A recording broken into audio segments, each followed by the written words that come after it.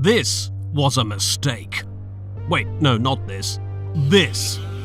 This is Mobbo, the worst mob ever conceived. A joke that's really gotten out of hand. Mobbo was recently inserted into Minecraft by a disgruntled ex employee. To save the overworld from Mobbo, we needed to send in two incredible heroes. But unfortunately, they spawned in the middle of the ocean. So we needed to find two more heroes. Two vastly less impressive heroes. Can they stop Mobbo and keep your third favourite crafting game borderline playable? Find out in.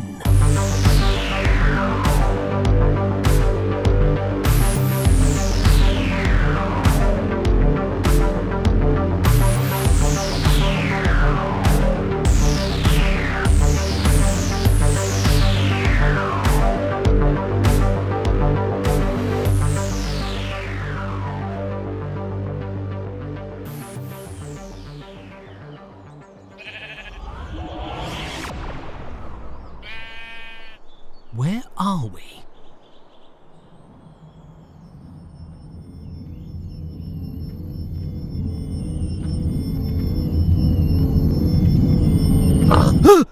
Marilla, I don't want to alarm you, but I think we're inside Forza Horizon 5.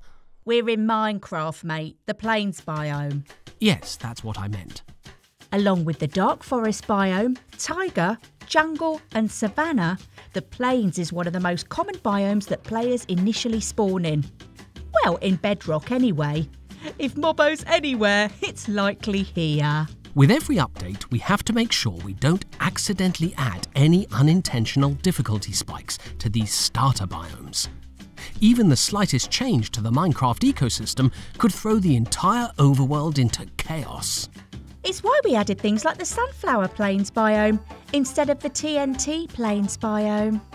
Ugh, but wouldn't starting out in a biome like this be more exciting? Possibly, but it's all about setting a tone. Lots of games start you off in a calm, tranquil forestry area, like Ori and the Blind Forest and Psychonauts. Do you have any examples that aren't owned by Microsoft? No. These opening areas are designed to be welcoming and accessible, appealing to new players as they learn the mechanics while hinting at the dangers and conflicts to come. And when players visit the later, more challenging areas full of dangers galore, you've given your game a healthy sense of escalation. We start you off in forests and greenery to trick you into thinking Minecraft isn't a jerk. Then we steadily make the biomes more sinister until you're burning in the nether and ending in the end. However, Minecraft's a little unusual in that we don't explicitly force you to engage with our endgame. A lot of players the nether see never, I mean, they never see the nether, or the end. They retire peacefully in the opening biomes, and we pretend we're fine with that. Yeah, the developers who worked so hard to make the Nether update didn't cry at all when we told them how many players actually visit the Nether. But we do have more subtle methods for forcing you to explore. The plains biome has lots of animals and land to build on, true. But if you want the wood to make essential tools, you'll need to visit a biome with more trees. And if you visit the dark forest biome to get that wood, you'll soon realise that hostile mobs love spawning there 24 7. It's our slightly passive aggressive way of convincing you to flee a biome and try exploring somewhere else. Think of us as proud parents, gently pushing you to broaden your horizons and see the world. Proud parents, longing for the day you turn 18. I want it on record that she said that, not I. It would appear Mobbo isn't in any of the starter biomes. Maybe they're currently ruining some other biome, and people should subscribe to the channel so they don't miss future episodes. No, that sounds a bit extreme to me. I think we should just assume that Mobbo is gone forever and that we won!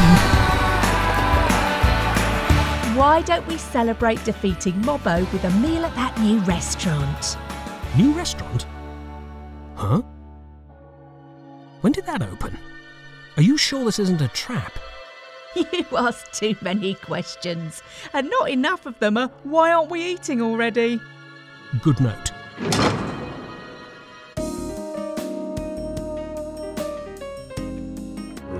Hostile mobs! But how? I thought they only spawn in complete darkness now, and your screen is lit up. Yeah, but I don't count as light. Apparently, there's too much darkness in me. On guard! That's French for I surrender, right? Prends le narrateur à ma place. Oh. Will our heroes escape with their lives and without leaving a tip? Will they find Mobbo and save the overworld? And where's the Mobbo burger I ordered 40 minutes ago? Find out the answers to at least one of these questions and all of life's mysteries in next month's adventure.